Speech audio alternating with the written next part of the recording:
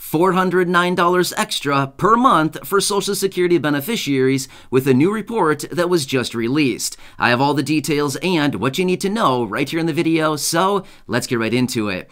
All right, a new report was recently released specifically focused on Social Security benefits, and it's also talking about an average of $409 more per month for Social Security beneficiaries, which also translates into $4,908 throughout the course of the entire year. So I want to get into into it and discuss all the details of this report and what this extra $409 actually means for Social Security beneficiaries. So let's get into it and discuss all the details. But really fast before we do, thank you so much for joining me. If you're new here or if you haven't done so yet, please make sure to subscribe by hitting the button right down below the video. It's totally free to do so and so I can keep you updated each and every day with all of this new information as it continues to hit the wire, especially as it pertains to money, benefits, new bills, new pieces of legislation legislation, reform to these very important programs like Social Security, retirement, SSDI, survivors, SSI, VA, and RRB, as well as money, benefits, programs, and so much more that is going on right here, right now, with all of these announcements and things that continue to hit the wire each and every day. So, again, thanks so much for joining me. Please make sure to subscribe down below if you haven't done so yet so you don't miss any videos going forward during this very busy and important time with everything going on right here, right now. All right, thanks again. Let's jump into it and discuss the details of this report and how Social Security beneficiaries should be getting an extra $409 per month on average, which would be just under $5,000 per year more. Let me ask you that much before we get into this. What would an extra $409 more every single month do for your life right now? Or how about this? An extra $4,900 throughout the course of the entire year. I think that's a no brainer. I think we can all probably agree that would be life changing for a lot of people. We're talking about some serious money here, right? We're not talking about $50. We're not talking about $200. We are talking about nearly $5,000 throughout the course of the uh, entire year, right? For a lot of people, that's about half of what everybody receives on an ongoing annualized basis, right?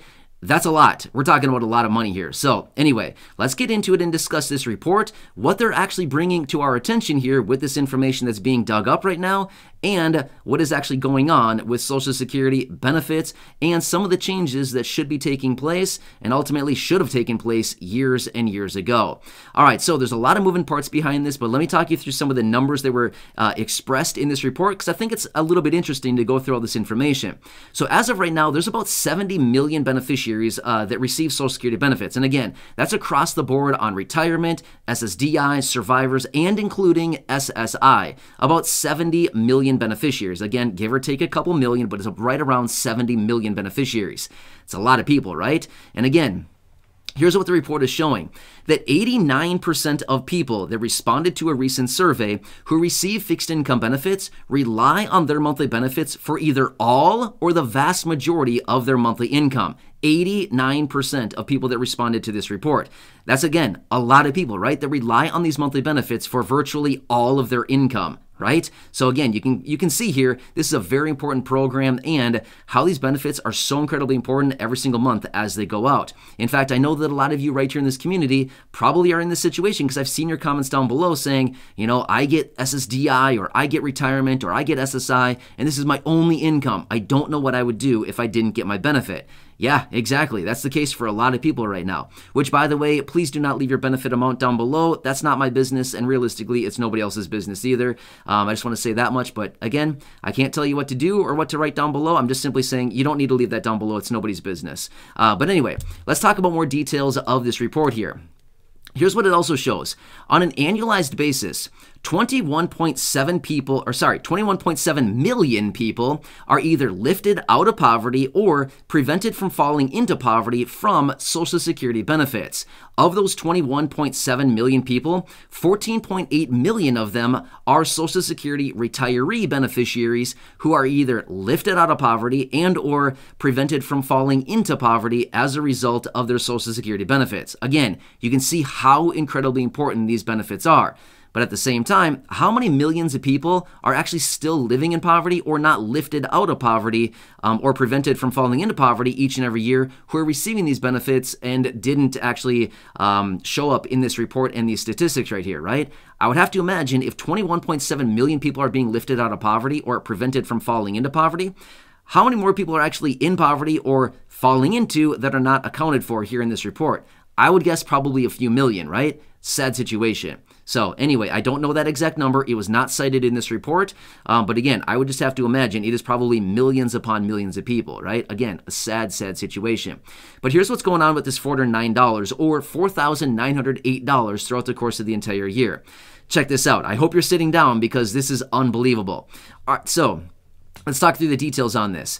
So, as we know, each and every year the annual cost of living adjustment comes out and raises your benefits, right? Sometimes it's 0.6%, sometimes it's 0, sometimes it's 1.3%, sometimes it's 5.9% like in 2022, and in 2023 it's likely going to be significantly higher than that.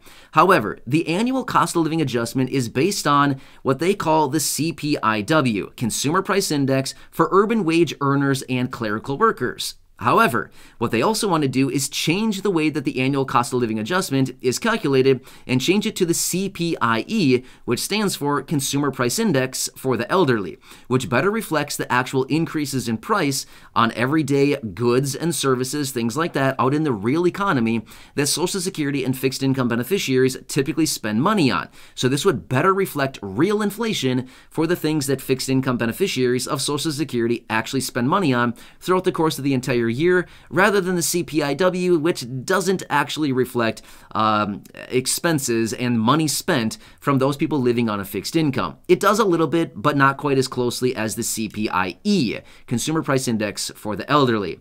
So, Here's what's going on. If they would have implemented the CPIE versus the CPIW back in 2000, so say 21 and a half years ago, right? So back in the year 2000, if they would have implemented the CPIE, which again, they are talking about it right here, right now, there's a few different pieces of legislation out there to change this. If they would have done it about 21 and a half years ago, you know, nearly 22 years ago, if they would have actually implemented this. Just throughout the time of the last, say, two decades, a little over two decades, just implementing this one minor little change, it would have transitioned into an extra $409 more on extra or on average per month for the average beneficiary or $4,908 throughout the course of the entire year just because of a couple different things. Long periods of time, again, 21 years of time plus compounding. So, as a result of these two factors, time and compounding, uh, just these two alone, if they would have made that one simple change from the CPIW to the CPIE, it would have changed benefits by an average of $409 more every single month going forward. That's massive, right? So here today, we could all be sitting here with an extra $409 more on average. Again, on average, one person could have gotten maybe an extra 120, one person could have gotten extra maybe 300, another person maybe 450, another person maybe 600. Again, this is the average what it comes out to, right? So that's massive. Now we're talking some serious money here. Just because of maybe some neglect by Congress and not actually making these necessary changes years and years and years ago, basically they have I, I want to say taken away because it's kind of what it's coming down to, right? They've essentially um, taken away about $409 per month per, uh, per beneficiary every single month, or about $4,900 every single year.